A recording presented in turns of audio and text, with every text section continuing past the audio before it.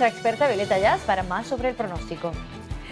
Así es, Iris, la nieve fue muy de repente, llegaba de repente y también se iba de repente, entonces las condiciones eran muy diferentes sobre varias partes de la zona. La nieve era breve, pero también muy, muy intensa. Por el momento las temperaturas cerca de 32, esto en el sur de Filadelfia, un poco más frío al noroeste de la ciudad. Estamos a 28 en la zona de Macungie, South Mountain 27, Whitehall 31 grados y en Walnut Port también a 30, un poco más frío. Aquí sobre el condado de Berks, Hopewell 28. Reading igual y en la zona de Sinking Spring también a 28 a esta hora de la tarde. Sin embargo, la sensación térmica entre 5 y 10 grados más baja eh, significa que se está sintiendo como 26 en la zona de Filadelfia, 22 en la zona de Pottstown, 31 grados en Allentown y 20 ya en la zona de Reading Millville, de hecho también a 20 grados para la sensación térmica. Las neviscas se van a disminuir en las próximas horas, ya la verdad no queda mucho, pero mañana nos toca otra ronda de nieve para partes de la zona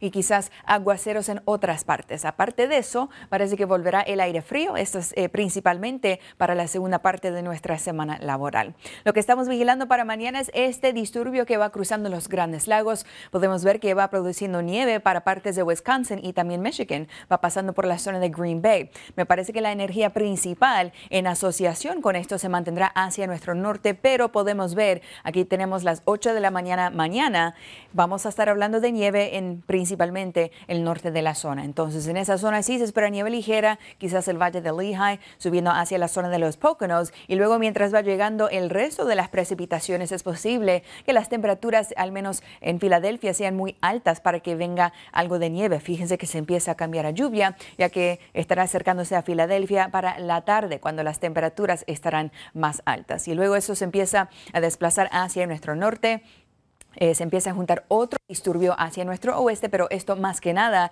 ingresará aire más frío para nosotros para la segunda parte de la semana. Fíjense que ya el jueves 38 la temperatura máxima y luego el viernes 34 nada más. Entonces definitivamente vamos a empezar a notar esa diferencia para finalizar nuestra semana laboral.